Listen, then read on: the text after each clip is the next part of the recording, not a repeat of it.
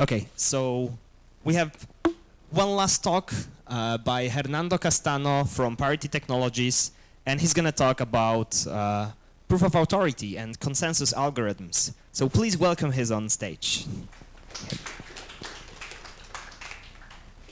I'm surprised all of you are still awake. It's been a long night so far. Um, yeah, so I'm Hernando. Uh, I work at Parity, mainly on the Ethereum client. Um, and today I just want to talk to you guys about proof of authority. I think it's a topic that doesn't get enough love. And if it does, it's usually in the context of like consortium blockchains, which also don't get any love.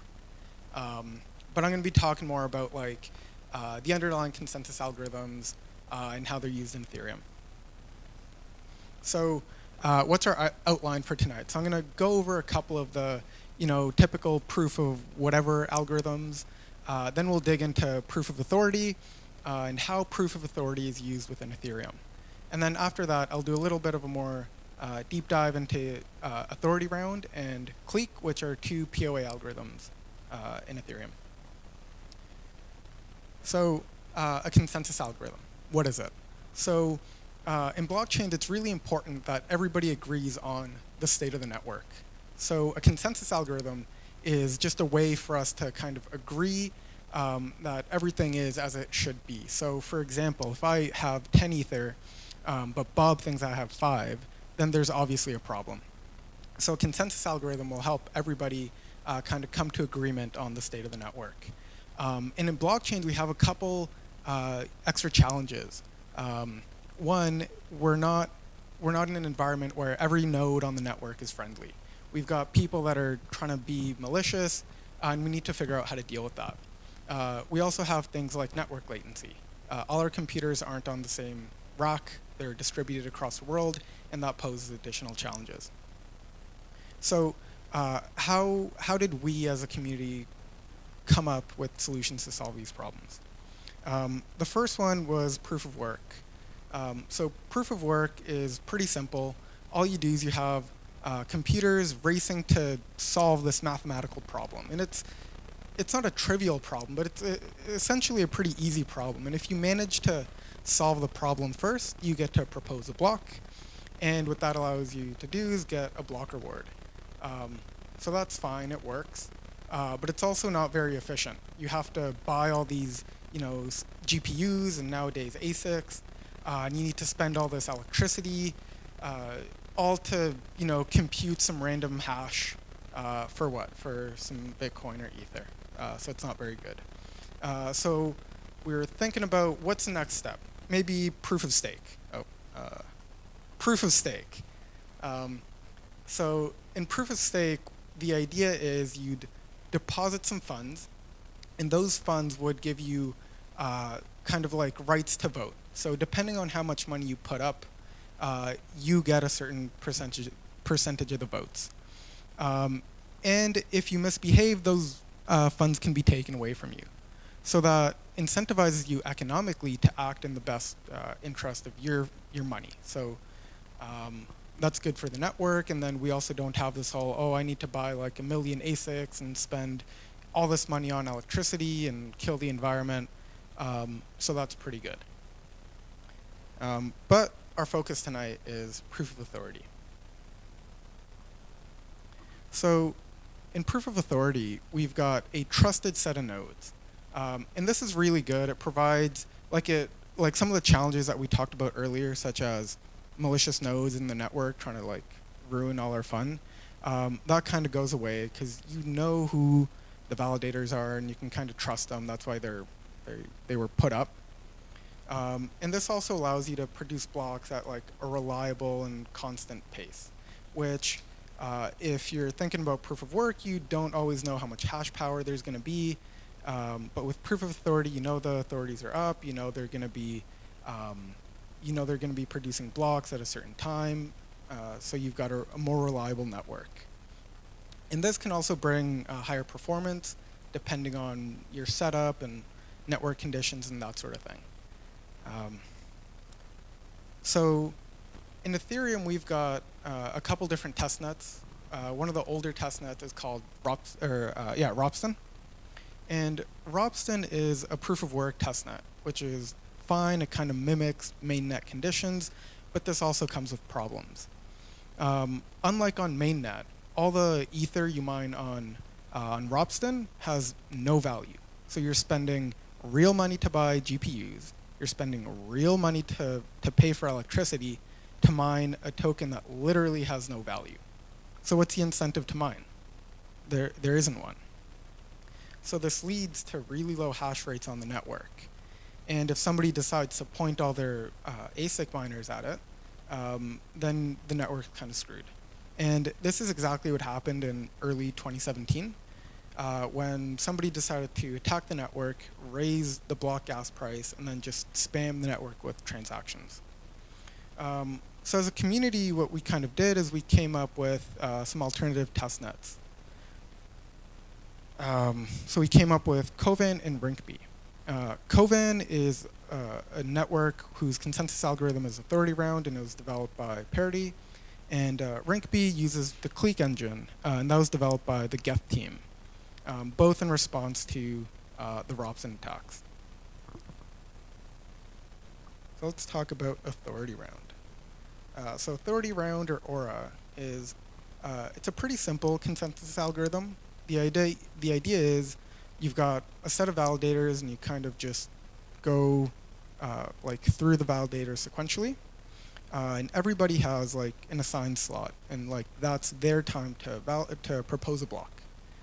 Um, so how this kind of works is time is divided into like very discrete steps um, using that formula over there. Um, and one, one key thing to note here is that if all the clocks of all the validators aren't synced up, they think that uh, different time corresponds to different steps. So in this case, it's really important to get everybody synchronized. Um, and then once we've got all the all the steps assigned, we can figure out what validator is supposed to uh, propose blocks at each step, um, just using a simple formula as well. So if we've got like an array of validators, just using the modulus of the step it is uh, with uh, the number of validators uh, in total, you can just figure out whose turn it is to propose a block. Uh, another thing that Aura provides is uh, finality.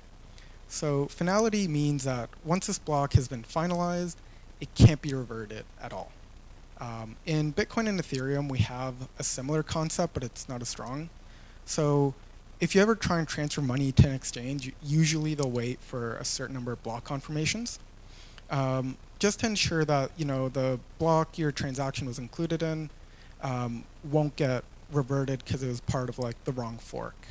Um, but in Aura, uh, after you've built a certain number of blocks, that block will get finalized, and it's a very strong guarantee that uh, it'll never be changed. So one thing I want to do is go through an example of uh, what finalization looks like. So uh, this whole kind of set of, um, I don't know, like pictures, I was inspired by one of our other coworkers, Andre because um, I thought it was like a pretty good way to show how finality works. So uh, let's imagine we've got five validators and they're going to propose five blocks. So we'll start with the pink guy over here. So he'll propose a block at step zero. That's cool. And then blue will propose a block at step one. So his block was built on top of pink's block. Makes sense and then orange comes in. So orange will build a block who was built on top of blue's block, who was built on top of, um, of pink's block. So what we have now is at step zero, um, that block has three validators that have agreed, yes, this block is valid. Uh, and in our case, because we had five validators in total, that represents a majority, which means we can finalize a block. Um, since we have the majority, means we don't want to revert the block. We're certain that this is what we want as part of the chain. Um, if we continue, we can see that uh, that original block that we've finalized is still finalized. Um, but now at step one, we've got another three validators that agree, uh, so we can go ahead and finalize that as well. Finally, uh, with Green's block, um, same thing. We've got another block that has a majority of validators that uh, built on top of it. So we can go ahead and finalize that as well. Um, another thing that Aura provides is a way to change validator sets. So let's say that we don't like pink and we want to change it out for, um, I don't know, like a light purple or something. Uh, we can specify that in, in the chain spec. Um, so we can like hard code that essentially into the client, uh, which is great and all, but that means if you ever want to change it, you got to hard fork uh, your network, which isn't fun. Um, but what we can do is we can also have a smart contract be the one that decides when validators are, are uh, in turn and when they're allowed to propose blocks and that sort of thing. Um, so you can see that I've got like a little example of what it would look like in your chain spec. Um, so from blocks 0 to 10, you can have a static list validator, or yeah, one validator. Same from 10 to 20. But as soon as 20 kicks in, uh, a smart contract can manage all this stuff, and you can just kind of have everything on chain, and uh, your network doesn't need to fork or anything. Um, another concept I want to go over is an epoch. So um, from blocks uh, 0 to 10, that would be one epoch, because that represents um, kind of like one set of validators. And 10 to 20 would represent another set of validators. And if the contract ever decided to change uh, the set of validators, that would be a new epoch. So we'll, we'll come back to that when we talk about Clique and what an epoch is there. Um, are there any questions about Aura so far?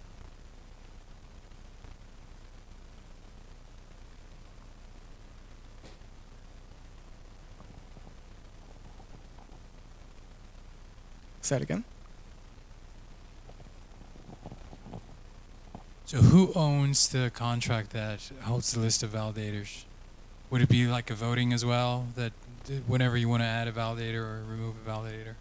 Yeah, so you've got a bit of flexibility in how you, you set up a contract, but uh, it could just be that one of the original authorities on the network also owns a contract and they can, um, they can be the one to, to add or remove validators. Um, yeah, it, like it, it's got a bit of flexibility once again because it is a smart contract. Thanks.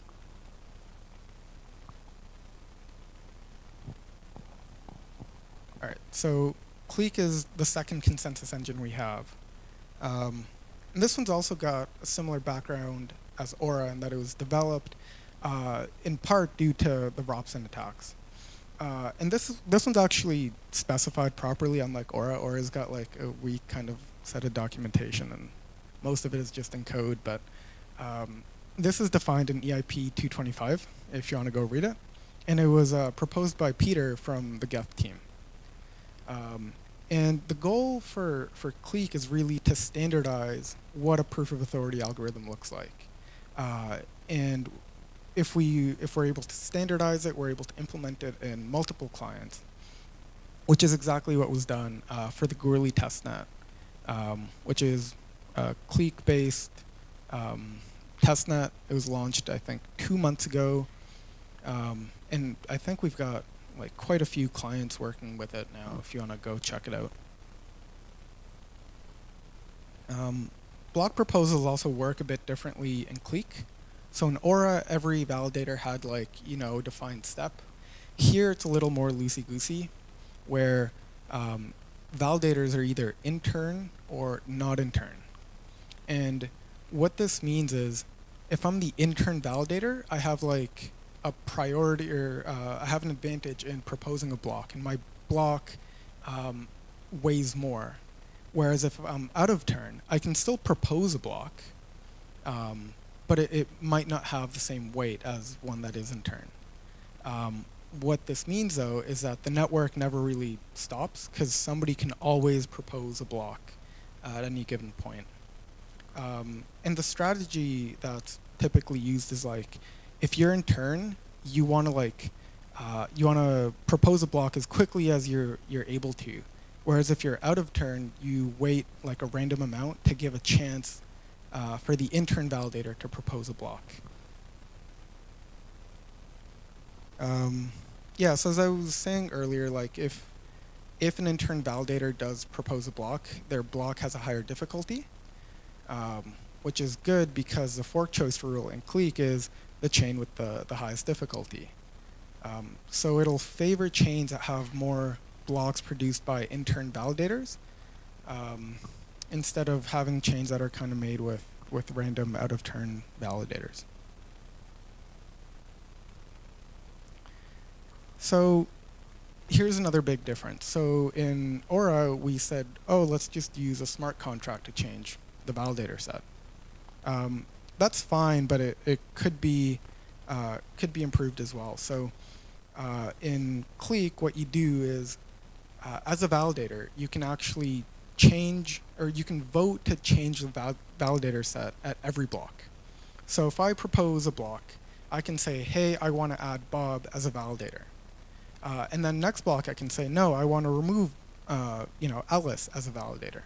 Uh, so I can do this throughout the protocol, and it's it's really good for clients to sync up, because um, all they kind of have to do is follow the different votes um, and see, you know, oh, who at block 100 is actually a validator. Um, and I guess the the key ideas uh, for the voting in Clique is that you get one vote per block. And then you also need a majority of uh, validators to vote on a certain um, on a certain action for it to be enacted. Uh, so it can't just be me trying to vote Bob out uh, every time. Like that that won't go through. I need a majority consensus for that to to get enacted. So epoch. Um, so in in Aura, if you want to figure out who the validator sets are, or yeah, who the validators are, and they're in a smart contract, you need access to state, and that's something that like a light client wouldn't have access to, because uh, they're just looking at headers. Um, but an epoch kind of uh, encapsulates all the info that a light client or even a regular client could use to sync. Um, so an epoch block is a special block which contains no votes that the ones we talked about in the previous slide. It contains a current list of authorities, and then um, another kind of quirk about it is that any vote that kind of wasn't settled in the in the previous epoch gets dropped. Um, so it, like it checkpoints uh, where we are in the in the network and who the validators are, and it gives you a nice clean way to sync up. Uh, and then in, in, Clique, the default is every 30,000 blocks, which is the same as in Ethash, um, just because they didn't want to like start fiddling with stuff that didn't need to be fiddled with. All right, so now for the fun part. So uh, as part of EIP 225, there's a bunch of consensus tests that you need to pass. Um, and you need to remember some of these rules, all right? So let's start with an easy one. So uh, actually, maybe let me walk you through what's going on here. So we're going to start off with uh, a list of validators, so that's signers. And then there's going to be a couple blocks that are proposed. Um, so in this case, you see signer A is voting for C to get deauthorized. So that's how you'd read that. And then you can also have auth as true, which means, oh, I want to add this person to uh, the validator set. Uh, and then the, the goal of this is to see what the validator set would look like after, um, after all these blocks. So can anybody tell me what the validator set would look like after these two blocks? Come on, this is an easy one. All right, let's go through it. So um, validator A is voting to deauthorize C. All right, so that's one vote against C. Next block comes around. Uh, validator B is also voting against C. So we've got two out of three validators that don't want C in the list. So we'll deauthorize C. So C won't be part of the validator list anymore. All right, let's do another one. Uh, the the empty B is just B's proposing a block, doesn't need to vote.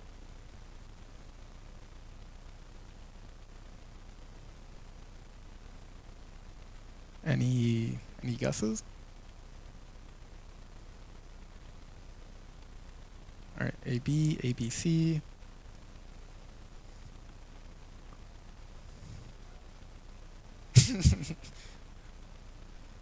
Who knows? Could be a trick question. Maybe there's a D. All right. So in this case, it's AB. Um, are you guys confused by that? So in this case, at the very beginning, to get a majority vote, only A needs to vote on anything. So he voted for B, uh, therefore B becomes a validator. So when we hit, when B proposes a block, there's already two validators there, which means, thinking back to the first uh, quiz question, uh, we need two validators to add another validator. So the other vote for C won't go through. All right, let's do another one.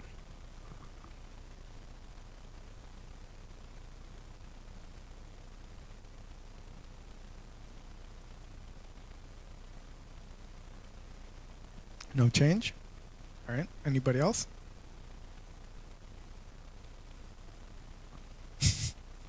All right, no change. Let's see. Yep, you're right.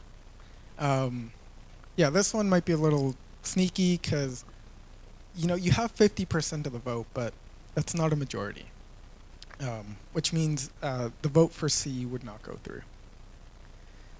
All right, last one. Got to think back to the rules on epoch blocks.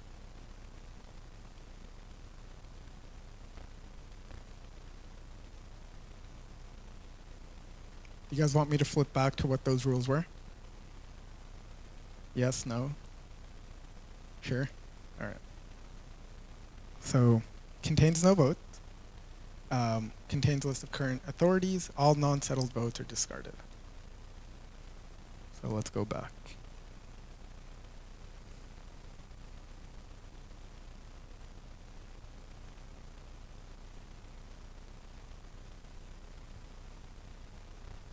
No change. A what?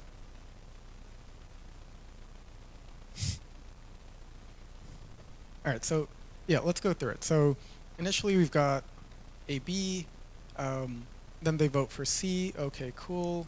B produces a block. Then we've got a checkpoint. So that's the important bit.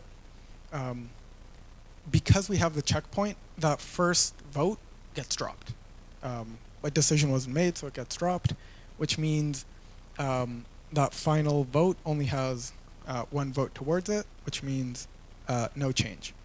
Had the checkpoint not been there, then yeah, the proposal would have gone through. So that's all I've got for you guys today. Uh, if you guys have any questions about uh,